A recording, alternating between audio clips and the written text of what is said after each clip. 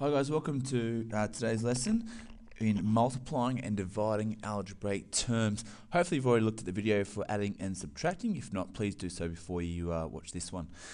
Um, okay, so a couple of things that you need to be aware of before we go into our multiplying and dividing algebraic terms. A couple of our basics for algebra, which is I think is very important. First of all, to know that 3 times a is the same as doing 3a. a times q is the same as saying aq. a times a is the same as saying a squared. Remember, a plus a is 2a, whereas a times a is a squared because we're multiplying it by itself. Be very careful. That's probably the two most common mistakes being created at this level of mathematics. Okay, it's very important to know the difference between those two. a plus a is 2a, where a times a is a squared. Basically, getting through those three rules, it can help you with most things um, with, with algebra, with multiplying. Now, if we look at dividing, we look at things like, um, I guess, 3 divided by 6 is the same as saying 3 over 6 or a half. Um, 2, 3 divided by a is the same as saying 3 over a. And let's say a over a is the same as saying 1. Because if you divide anything by itself, like 5 divided by 5 equals 1, 3 divided by 3 equals 1. So a over a equals 1. Okay, so that's some of the main concepts. So we're only looking at the easier ones today. Um, so let's have a look at some examples. Once again, like the last tutorial, it will say simplify because you're not going to have an exact answer. Well, most of the time, you're not going to have an exact answer like 1 or 2. It can happen though. Okay, so we're going to look at the question. Um, we're going to start off with um, 3a times 4. Now, I go by two rules. Okay, the first rule is deal with the numbers first,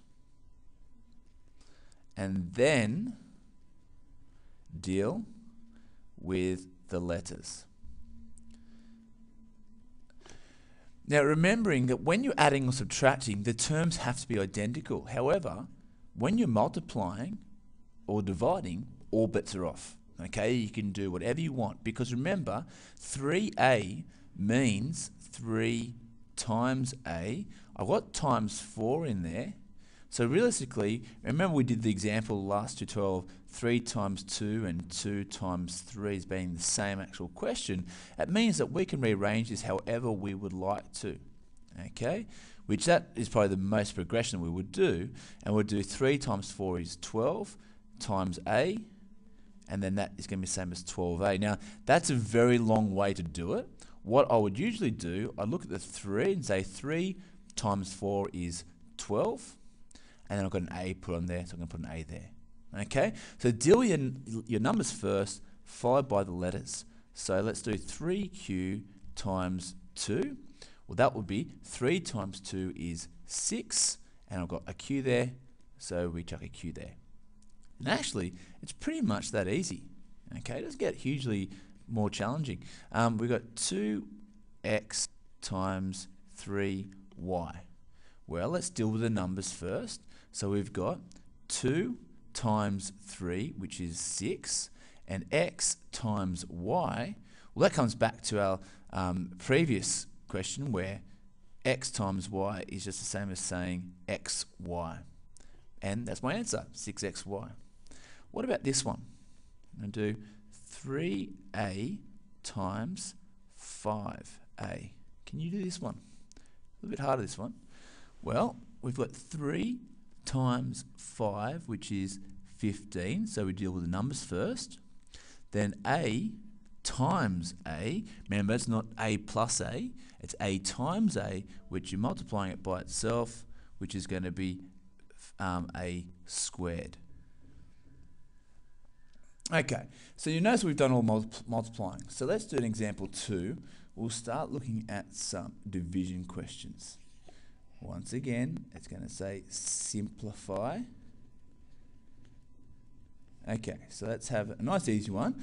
We're going to do 15a divided by 3.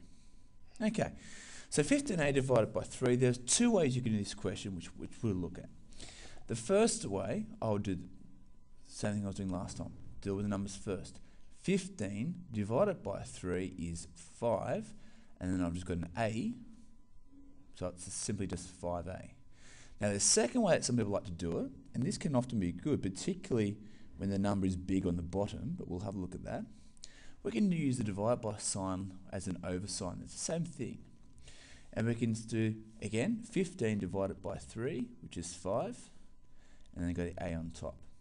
Okay, I probably prefer this method to be honest with you because it can get you out of strife in questions like this. Um, we can do 6q divided by, um, let's say, 12. Now, the reason why I'll show you, again, two ways. The first way, 6 divided by 12 is a half, and then I've got q. Or you could probably write as 0.5q. Now that's okay, you can do that. But probably the way I prefer is this. I'm going to rewrite it as 6q over 3. Oops, over, not over 3, it's over 12.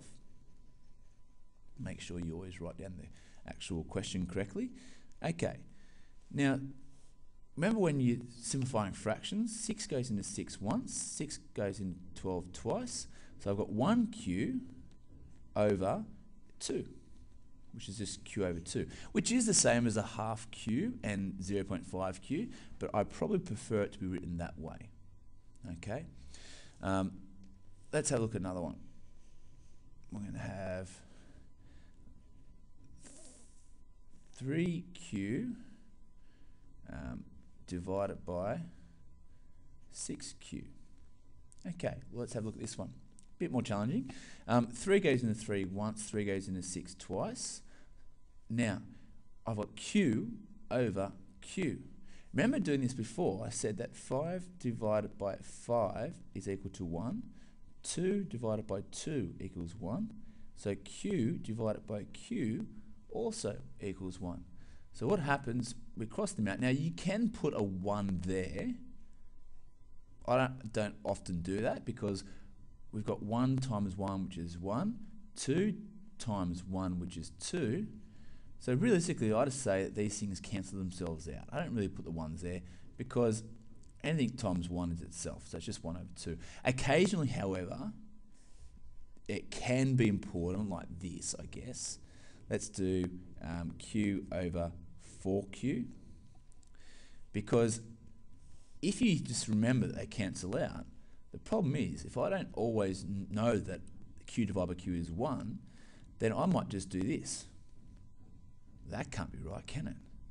And 0, no, that can't be right either because 0 divided by 4 is 0. So if you are crossing them out or cancelling these q's out and there's nothing left there, then it's important to put your 1 there. Okay, if there's another number there, like we had the 1 up there already and the 2 there, it's okay. All right, I know that can probably be a little bit confusing, but, um, but we'll certainly go through some more questions. Okay. So I'm going to put some mixed answers here now for, uh, or mixed questions, should I say, for example three. So have a crack at these, see how you go. You probably won't get them all right, but definitely give it a stab. So we'll do um, 3y times 6y. We'll do 7a times 6q. We'll do 30a divided by 6. I'm going to do 5q divided by 15.